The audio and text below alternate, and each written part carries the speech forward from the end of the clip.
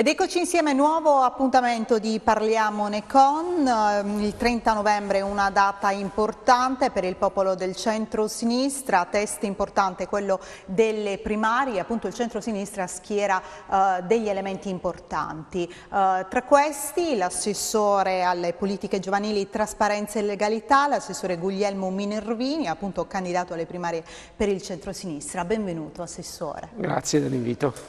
Entriamo subito nel merito. Innanzitutto che sfida sarà? Che caratteristiche, al di là di chi sarà, ovviamente lo vedremo dopo l'esito delle primarie, che caratteristiche dovrà avere il nuovo Presidente della Regione Puglia? Ma io penso che debba essere soprattutto un Presidente a tempo pieno in modo dedicato ai problemi della Puglia, perché stiamo attraversando una fase decisiva e il punto più acuto della crisi. I prossimi anni saranno fondamentali per capire se ce la facciamo oppure no. E per questo io penso che sia importante avere una eh, figura di presidente che non abbia altre faccende che non siano la Puglia e i pugliesi. E, e per questo mi candido diciamo, a, ad avere una sorta di eh, attenzione esclusiva alle sfide che ci stanno dinanzi. E le sfide che ci stanno dinanzi secondo me sono fondamentalmente due eh, il tema dello sviluppo e il tema del lavoro, cioè come ne usciamo da questa fase di crisi, come la Puglia ne esce, come ci tiriamo fuori da questo pantano, cosa possiamo fare per irrobustire la nostra capacità produttiva e come da tutto questo traiamo eh, opportunità di lavoro, soprattutto per quel 53% di giovani che oggi eh, non vede un orizzonte di futuro dinanzi a sé. È su questo che ci giochiamo la partita ed è su questo che io sto provando a dire delle cose che si possono fare nei prossimi cinque anni. Lei ha detto che la Puglia è cambiata perché i pugliesi sono cambiati. In che senso? Io penso che in questi dieci anni abbiamo avvertito la possibilità di dirci con maggiore fierezza, con maggiore orgoglio pugliesi, mentre dieci anni fa lo dicevamo quasi con un senso di soggezione, in qualche caso anche con un senso di vergogna. Oggi invece lo diciamo a testa alta, abbiamo un senso appunto di fierezza, è come se di Puglia si parla bene in tutta Italia e questa cosa ci fa piacere. Ovviamente tutto questo si traduce in termini di responsabilità, è come se per la prima volta avvertiamo su di noi la responsabilità di farcela.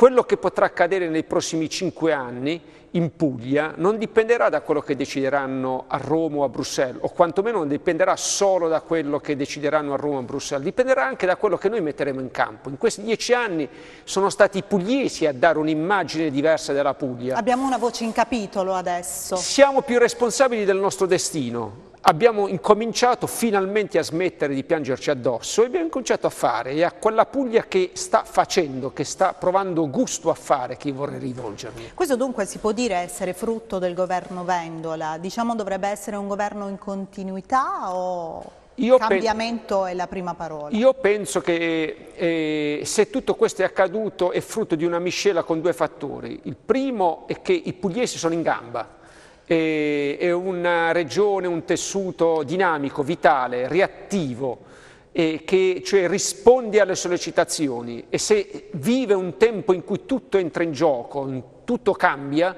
e invece che eh, paralizzarsi dalla paura, invece che guardarsi indietro, sta provando a capire cosa fare per andare avanti. No? Quindi abbiamo di fronte una Puglia vitale, eh, dinamica, che, che vuole la, sta raccogliendo il guanto della sfida.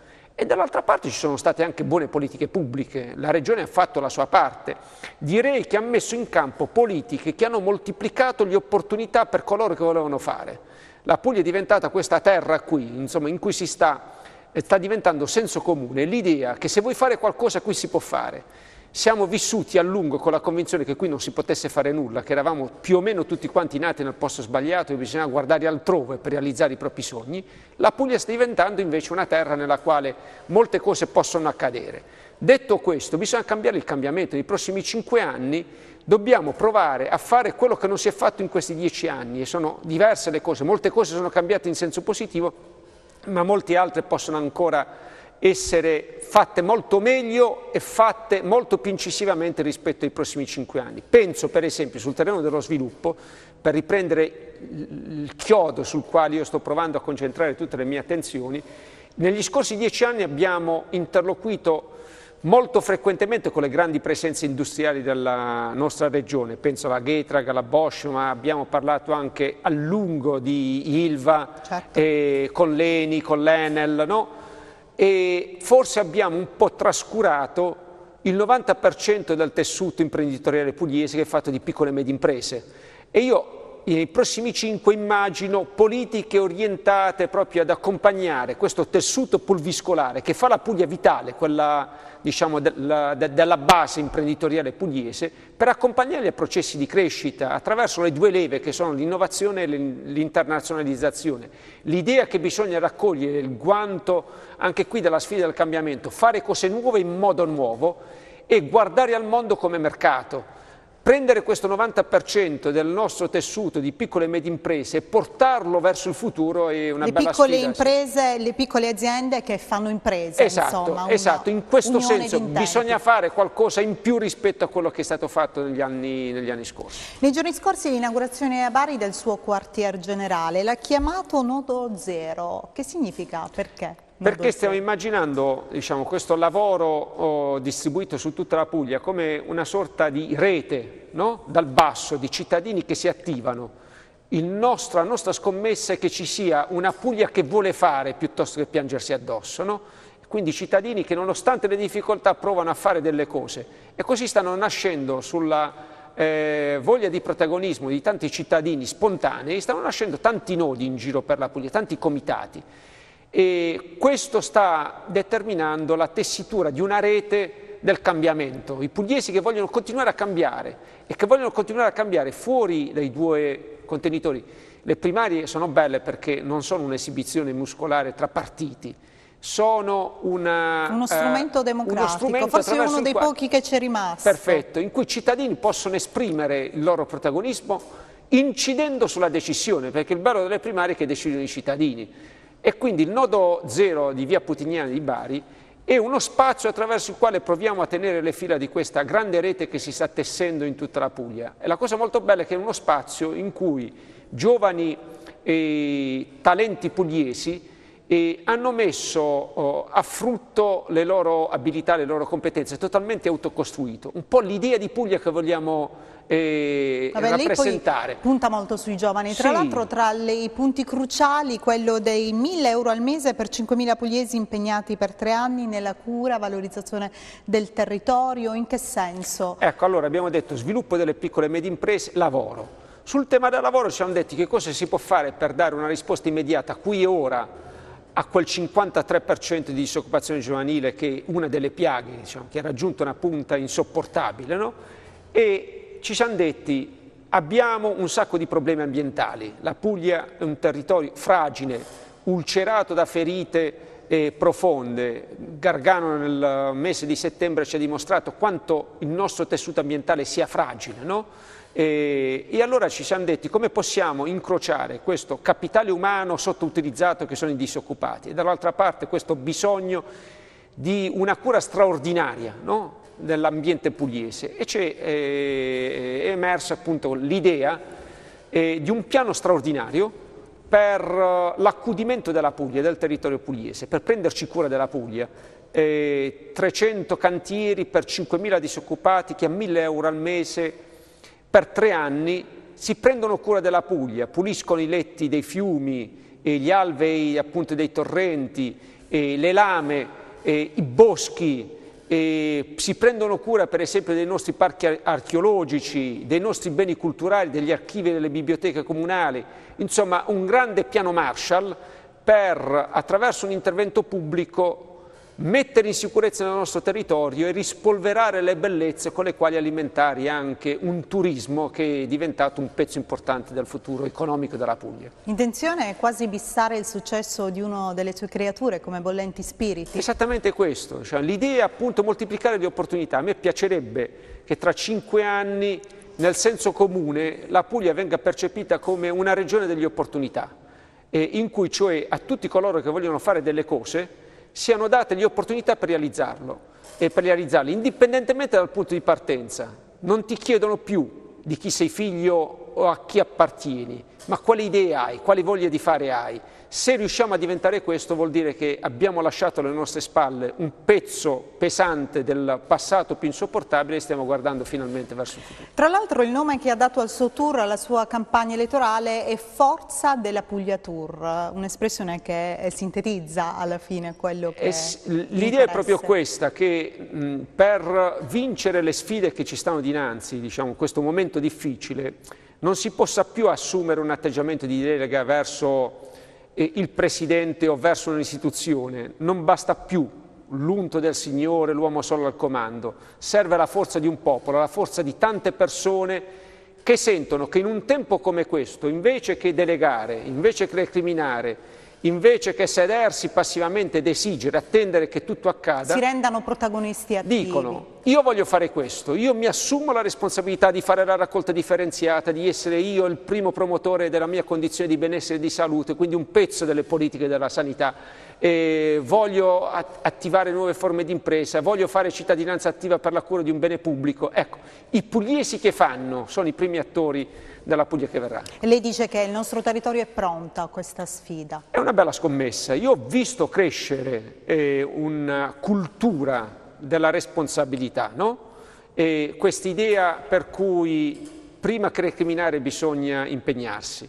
Soprattutto penso che di questa nuova cultura i, i primi protagonisti sono proprio i giovani e questa è una generazione che viene senza nessuna garanzia rispetto al futuro. Noi ne abbiamo avute tante quando avevamo 25 anni. Questi giovani invece non ne hanno alcuna. Devono quindi sono più disposti a mettersi in gioco, a buttarsi nella mischia anche delle sfide.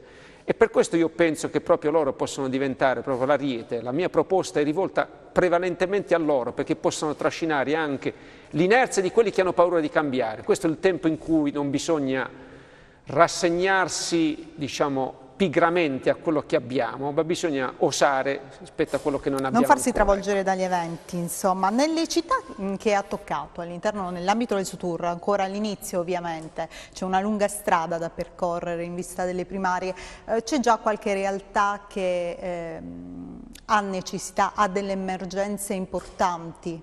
Ma io andando in giro per la Puglia eh, sto provando a declinare questo ragionamento che vale per tutti, regionale, nell'ambito dei singoli territori, perché la Puglia è le Puglie, no? questa pluralità, questa articolazione di territori che nel corso di questi anni, di fronte alla domanda su che cosa si potesse fare, sta facendo emergere vocazioni territoriali. No? Il subappennino d'Auno in questo momento sta in qualche modo chiedendosi che tipo di, per esempio, di agricoltura e di turismo a partire da quella condizione di marginalità si può al contrario sviluppare.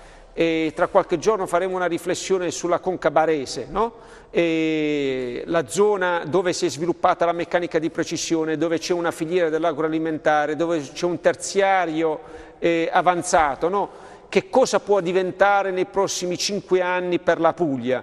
Eh, così fino all'area ionica, no? tutta la crisi dell'Ilva e la domanda che Taranto sta ponendo di ripensarsi oltre l'Ilva eh, con le bellezze di quel territorio e nello stesso tempo con le potenzialità infrastrutturali dell'aeroporto di Grottaglia certo. e così via. Cioè, diciamo che Taranto non è solo l'Ilva. Non è solo l'Ilva e la città di Taranto sta rivendicando il diritto a pensare un destino diverso dall'Ilva o non solo schiacciato sull'Ilva. Ecco, allora, il lavoro che stiamo provando a fare è di mettere insieme queste vocazioni, è come se ogni singolo territorio dica qual è l'apporto con il quale vuol contribuire alla costruzione di una nuova idea di Puglia, no? Dentro questa Puglia, Puglia dinamica, è come se ciascuno vuol portare del suo, questo è molto bello. Io vorrei chiudere questo giro provando a stendere il programma con le cose, con i progetti che si possono realizzare, dando il nome di una vocazione territorio per territorio. Tra l'altro ho notato Così nessuno si sente escluso. Eh. Che all'interno nell'ambito dei suoi incontri in giro per la Puglia non è solo un monologo della, appunto, del programma elettorale, ma lei si serve delle testimonianze dirette di chi partecipa sì. proprio per fare incetta di queste eh, emergenze ed eventualmente, possibilmente risolverle. Assolutamente sì, è proprio uh, duplice il messaggio. Da un lato la politica che si mette in ascolto, che non parla con saccenteria e sento convinta che tanto nulla di interessante può venire fuori dai cittadini. Invece io sono convinto che i cittadini sono protagonisti titolari di contributi interessanti, di conoscenze molto belle, e dall'altra parte ascoltare le storie dei cittadini che stanno facendo, storie non sempre positive, eh? storie anche di difficoltà, di sconfitte, di cadute, e serve a capire quali sono i punti di leva, quali sono le risorse sulle quali noi dobbiamo fare degli investimenti. Ogni volta si sentono appunto imprenditori che ce la fanno, oppure cittadini che di fronte al rapporto con le istituzioni, con la sanità per esempio, incontrano tante difficoltà. Fare questo carico no? serve a capire qual è la direttrice di lavoro. E io penso che la direttrice di lavoro è quella che dicevo poco fa, e cioè che dobbiamo radicare dentro questo pezzo di Sud la voglia di fare. Ce la facciamo solo se tutti insieme ci assumiamo la responsabilità. Direi che alla fine il messaggio politico è un messaggio di fiducia. Possiamo farcela, ma solo se ci assumiamo ciascuno la propria responsabilità e se lo facciamo insieme. Nell'ambito del governo Vendola lei ha sempre occupato dei ruoli importanti, ha sempre avuto delle deleghe importanti, al di là cittadinanza attiva, trasparenza, um, a un certo punto c'è stata anche la delega ai trasporti e alle infrastrutture, adesso nuovamente uh, quella alle politiche giovanili, cittadinanza attiva, con in più l'aggiunta um, della protezione civile, tra l'altro appunto l'abbiamo vista impegnato sul campo in prima fila durante eh, gli, eventi brutte, gli eventi, brutti eventi effetti del Gargano dell'alluvione. Um, prima di entrare magari nel merito di quello che è stata la tragedia del Gargano, eh, come mh, si è sentito, questa è una domanda che gli avrei voluto fare da tempo, alle accuse del Movimento 5 Stelle, mi permetta di chiederlo, quando l'hanno accusata erroneamente, senza testimonianza alcuna ulteriore, di assenteismo? Che cosa ha provato? Cosa si è sentito in quel momento? Ho avvertito un senso di fastidio, diciamo, su, sul mm, fastidio per lo scadimento della politica. Insomma, quando la politica diventa barbarie, quando diventa eh, fango, eh, un modo cioè per ferire le persone piuttosto che per mettere in discussione l'attività, le cose che si fanno, e dà sempre un brutto spettacolo. No? il volto peggiore della politica, quello che colpisce le persone perché non sa cosa dire su quello che si fa. No? La cosa per la verità mi è scivolata addosso perché io conosco il senso di dedizione profondo con il quale provo ad onorare eh, gli impegni pubblici. Per me eh, rivestire una responsabilità all'interno delle istituzioni è un impegno solenne.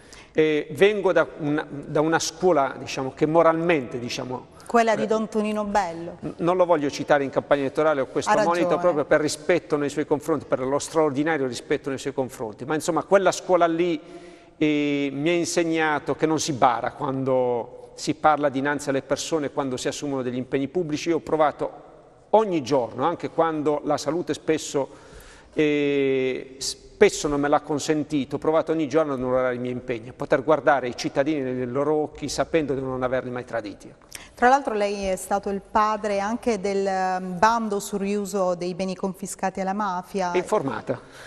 Benissimo, l'ho seguita nel suo sì. percorso. E quello è un bando molto innovativo, l'unico in Italia, eh, con il quale proprio a fronte della difficoltà che molto spesso gli enti incontrano nel riutilizzare i beni confiscati alla mafia, molto spesso sono assegnati agli enti ma per rimetterli in circolo, no? rifunzionalizzarli c'è bisogno di investimenti che non sempre si riescono a fare. La Regione si è messa accanto, ne abbiamo oh, ristrutturati 14 ed è bellissimo perché si va dal, dal canile alle case famiglia per bambini, e nel caso Anche di Mesagni e Torchia Masseria, abbiamo recentemente a Torchiarolo inaugurato una masseria didattica che era la casa, la una villa lussuosissima del boss eh, della zona, e campi anche che oggi producono ottimo vino, insomma abbiamo aiutato la comunità a riprendersi il suo, sottraendolo dalla, dalle grinfie della criminalità organizzata e anche su questo sono molto contento di aver lavorato ancora una volta con le persone, con i cittadini, con gli enti locali, ma nel caso per esempio dei beni confiscati soprattutto con Libera, con tanta cittadinanza attiva. Lei ha ricevuto anche nel 2000 e mi eh, faccio i complimenti anche per questo perché l'ho trovato il premio nazionale Luciano Lama che è quel premio che viene conferito alle, tra virgolette, migliori amministrazioni. Stiamo parlando del periodo in cui era sindaco uh, di Molfetta. L'anno era dal 94 al 2000, lei è stato sindaco di Molfetta, Perfetto. mi corregga se sbaglio. Non c'è bisogno di alcuna correzione. Preparatissima. Mm, volevo uh, sapere da lei um, come ha commentato, come ha vissuto uh, la vicenda, la nota vicenda dell'inchiesta sui fondi del porto di Molfetta. Ma che lì ci fosse del torbido oh, lo sostenevamo sul terreno del confronto politico da anni, che tutta quella vicenda è nata male ed è stata trascinata peggio verso un epilogo catastrofico, questo era politicamente evidente, ovviamente ci sfuggivano i dettagli giudiziari che poi solo un'indagine penale può far venire fuori. Insomma, eh, si, eh, nasce con 150 milioni all'incirca assegnati direi quasi in maniera discrezionale dal, uh, governo, dai, dal Parlamento nazionale direttamente al comune di Molfetta, bypassando l'ente che è titolare del porto, oh, cioè la regione, è la prima anomalia. Si fa una gara con una serie di specifiche tecniche che escludono la possibilità di partecipazione fino a restringerla ad una soltanto, una sola offerta, come è stato diciamo, da più autorità, da più istituzioni sottolineato, fino a quell'epilogo che diciamo, è stato eh, evidenziato con l'indagine giudiziaria di tutta una serie di diciamo, manomissioni, di atti pubblici, di silenzi rispetto alla situazione eh, ambientale, eh, insomma è una brutta vicenda che un giorno sarà pure bene ricostruire, ma dalla quale è difficilissimo ora venire fuori e solo con pazienza il Comune di Molfetta, finalmente in un lavoro di concerto costruttivo, positivo con eh, le istituzioni del territorio, in modo particolare con la Regione ma anche con l'autorità portuale, pian piano sta provando a ricomporre e teniamo il filo di un ragionamento possibile e questo significherà sia eh, il, la, re, la, reintegrazione del comune di Molfetta all'interno del sistema portuale pugliese e sia l'affidamento della gestione di questa opera così importante nelle mani dell'autorità portuale del Levante che ha una robustezza amministrativa in grado di reggere la complessità di quell'opera. C'era un organo che avrebbe potuto controllare prima che scoppiasse lo scandalo, la Regione Puglia ha una responsabilità, lei mi ha detto che appunto è stato bypassato. Sono decine le lettere di diffida inviate dalla uh, Regione Puglia alle, alle, quali il Comune di Molfetta ha omesso di rispondere, fanno parte tutte quante dell'indagine l'anomalia stava nel fatto che il Comune era titolare del finanziamento, non la Regione, questo consentiva al Comune di esercitare diciamo, una funzione arrogante nei confronti della Regione perché un'eventuale attività della Regione avrebbe potuto provocare la perdita del finanziamento. E, è tutto anomalo, diciamo, una storia, una brutta storia. Se le chiedessero di tornare a essere il sindaco di Molfetta, lo farebbe? Io oh, per consuetudine non mi guardo mai alle spalle, insomma, preferisco guardare con curiosità quello che la vita riserva piuttosto che rimpiangere i bei tempi. È stata una bellissima esperienza tra l'altro fatta giovanissimo, perché quando sono diventato sindaco avevo solo 33 anni ed era l'ultima cosa della mia vita che mi sarei immaginato potesse accadere, e, ma non la, non la, rimpiango, è stata una pagina importantissima, diciamo, decisiva della mia vita e mi piace raccontarla, ma non vorrei riviverla. Torniamo all'alluvione del Gargano. Secondo lei la situazione è stata gestita nel migliore dei modi? In queste ore, tra l'altro, il governo Renzi finalmente, sì. dopo 45 sì. giorni, ha, eh, decretato, ha dichiarato lo stato di emergenza. Riconoscendo un primo contributo di 10 milioni e mezzo, che è solo un piccolissimo acconto rispetto ad un fabbisogno che abbiamo stimato superiore ai 300 milioni di euro per i danni complessivi sul territorio. Quindi speriamo che gli altri ci siano. Io devo dire di sì, la, la, la, risposta è assolutamente sì, nel senso che in quella circostanza il territorio ha dato una prova di altissima efficacia ed efficienza. Il sistema della protezione civile ha funzionato con livelli molto elevati di competenza e di capacità organizzativa. Abbiamo gestito una situazione di straordinaria gravità, estrema direi, tra l'altro con le strutture ricettive ancora piene di turisti, insomma gli alberghi erano pieni di persone ancora che al primo sì. piano non sapevano bene cosa fare e solo la perizia, la competenza del dispositivo, dai vigili del fuoco e del corpo eh, forestale, ma degli stessi volontari, ha consentito di gestire tutta l'evacuazione con eh, sostanzialmente un danno in termini di vite umane e assolutamente diciamo, poteva andare molto peggio. Gargano, a giudicare da quello che è accaduto a Genova, dove si è rischiata la catastrofe, dove il sistema non ha funzionato, direi che la, prova, la Puglia ha dato una prova eccellente del cammino svolto dalla protezione civile. Oggi è una realtà solida, lo dico anche qui con un pizzico di orgoglio. Tra l'altro il Gargano è reduce anche dall'incendio che colpì il Vieste Peschici qualche anno fa. Nel 2007. Nel 2007. Ehm, per questo spesso e volentieri anche gli stessi uh, utenti, i nostri telespettatori ci mandano mail uh, per capire se è possibile, piuttosto che intervenire dopo, preventivamente agire, ma come si può agire oggi per evitare che eh, disastri, catastrofi del genere possano eh, verificarsi ancora? Allora, ci sono delle cose nelle quali noi abbiamo eh, compiuto un cammino enorme, per esempio gli incendi, no? E 2007 eh, segnò il punto di svolta, l'incendio di Peschici, no? segnò il punto di svolta, non avevamo di fatto ancora un sistema di protezione civile. Quello fu un evento catastrofico che registrò la nostra impreparazione, insomma accadde tutto spontaneamente in modo disordinato. E anche, anche là lì erano tanti turisti. Era, era eh, luglio pieno, insomma, eh, rischiamo davvero la catastrofe. E quell'evento ci fece capire che la protezione civile era una cosa seria. A partire da quell'evento c'è stato il punto di svolta. È il caso appunto che da una esperienza negativa nasca diciamo, un percorso assolutamente costruttivo positivo.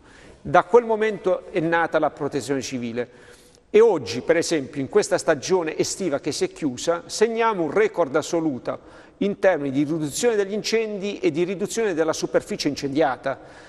Quindi significa che quello che dicevi un po' tu poco fa, diciamo, siamo passati da una capacità diciamo, di gestione ad una capacità di prevenzione. No? Sugli incendi la Puglia ha fatto un percorso enorme. No?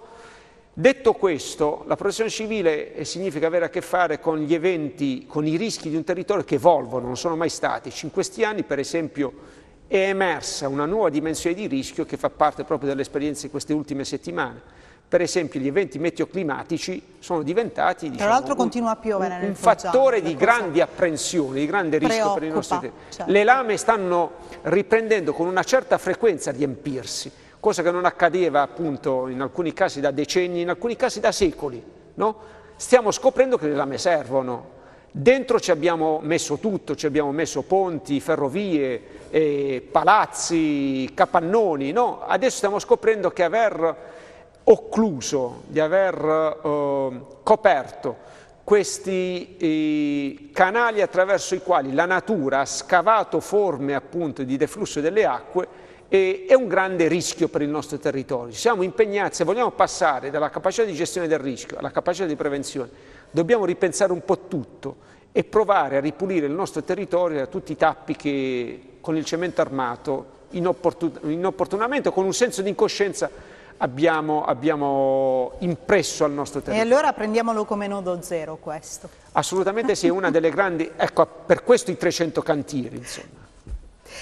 Torniamo alla fase di primaria, siamo in chiusura davvero, mancano solo due minuti alla fine del programma. Um, test delle primarie, ha paura di brogli?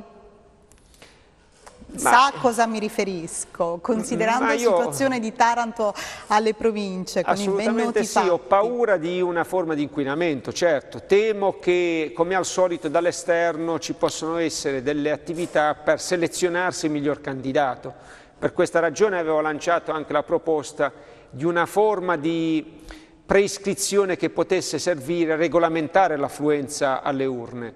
E purtroppo, diciamo, il, in modo particolare Michele Emiliano, ma le forze del centro-sinistra non hanno inteso dare una regolamentazione alle primarie. Le primarie, secondo me, sono uno straordinario momento di partecipazione se evitassimo che diventino anche una forma inquinata attraverso la quale diciamo, si incuniano interessi diversi, sarebbero ancora più trasparenti. E spero che un codice d'onore diciamo, tra di noi candidati... Anche non scritto, anche importante scritto. che ci sia. Una volta valevano le parole. E allora grazie Assessore, grazie della sua presenza, buon lavoro. Grazie a voi dell'opportunità. E grazie ovviamente al pubblico a casa a cui rinnovo l'appuntamento alla prossima puntata di Parliamone con.